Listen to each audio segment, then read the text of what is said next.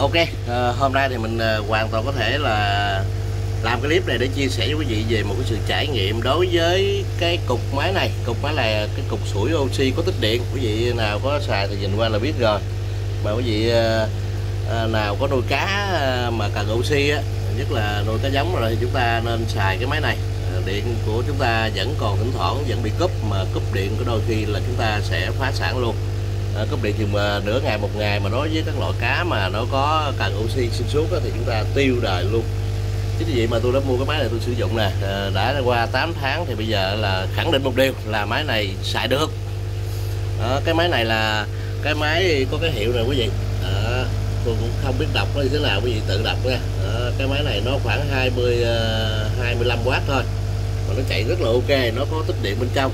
Và sau 8 tháng trải nghiệm thì chúng ta có mấy cái ờ, cái cái ờ, giá trị trải nghiệm thế này. Thứ nhất là đây, tôi đã xài cái này là cho ờ, là 12 cái dòi oxy nha quý vị. Đây, mỗi một cái tôi chia ra 6 dòi tôi chia hai cái ống này nè. Nó có hai đầu ống ra nha, là 12 dòi thì mỗi một cái dòi ở cái độ sâu của nước là thế này, là khoảng 6 tấc mấy 7 tấc. Đó, nó sâu như thế này. Đó thì để cho quý vị xem đây để tôi tắt cái máy nha để tôi tạm tắt cái máy cho quý vị xem là oxy nó không còn à, lên nữa đây đó thấy không cho tôi mở lại nè đó à. Thế thì 12 cái dòi oxy như thế này mà chạy với 25W thì chúng ta thấy rất là lý tưởng rồi, ok rồi. Đó. Giờ tôi cảm thấy rất là vừa ý với cái máy này.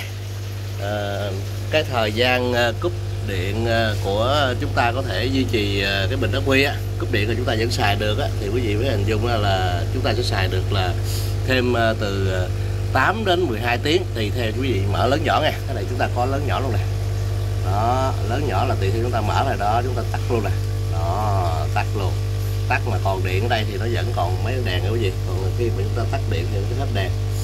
À, do tôi mới xả cho nên có một cái nút này nó không đặt trăm phần trăm nè bây giờ là mã lại, đó. Bây giờ tôi sẽ ờ, mã lại cho quý vị xem cái cách mà nó hoạt động nha. Ờ, khi mà không có nguồn điện đây chúng ta sẽ rút cái nguồn điện này ra. Đây đây là nguồn điện của nó nè. Tôi rút ra. Đấy ừ, có một tay hơi khó quá quý vị. Đó chúng ta thấy là đèn nó sẽ tắt hết bắt đầu nó khởi động lại cái hệ thống bình ắc quy. Giờ thì nó chạy bình thường. Chúng ta xem cái cái oxy nó chạy chạy ra đó cũng y chang như hồi nãy thôi không có khác gì đâu. Đó. Như vậy thì ờ, uh, hoàn toàn có thể uh, sử dụng uh, xứng đáng đồng tiền rồi. À, nói về đồng tiền thì thế này cái này là tôi mua cách đây 8 tháng thì khoảng hai triệu rưỡi. Tức là nó mắc gấp 5 lần cái máy này. Cái máy này khoảng 400 mấy 500 cái máy này công suất nó lớn hơn. Cái máy này là 35W cái máy này là cái máy này rồi tới uh, 56W 56 hay 58 gì đó. Thì uh, nó gấp 4 lần. Nhưng mà nó có một cái ưu thế đặc biệt là nó sẽ khắc phục cái tình trạng điện cấp khi chúng ta đang nuôi một bầy cá quý của chúng ta mà nó cúp một cái thì chúng ta sốt ruột lắm mà không biết cái nào xử lý đâu. Đó.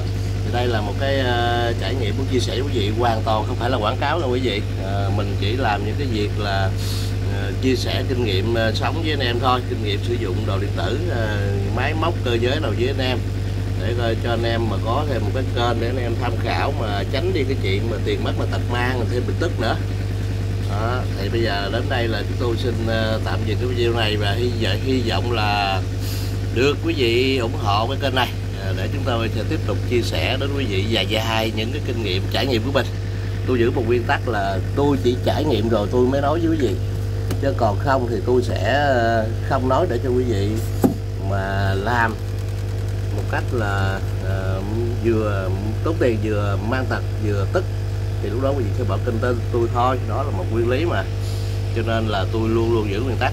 Cái gì mình đem ra mình xài mình trải nghiệm mình chính xác trăm phần trăm rồi tức là với thân với bản thân tôi trăm phần trăm thì tôi mới làm. Có thể nó là chưa phải là trăm phần trăm với các bạn nhưng với tôi thì tôi phải trăm phần trăm tôi mới làm. Đó. thì đây là một cái ờ, chia sẻ ờ, nhỏ nhỏ mong rằng anh em mong rằng quý vị có cái gì ờ, chưa đúng thì quý vị góp ý. Ờ, mình làm một cách một mạc thôi. Ừ, quay sao nói vậy, không có cắt ghép gì hết. Rồi xin tạm biệt quý vị. Hẹn gặp lại quý vị ở các cái clip tiếp theo. Chúng tôi sẽ test về máy móc, thiết bị, những cái vật dụng gần gũi trong gia đình mình. Ok.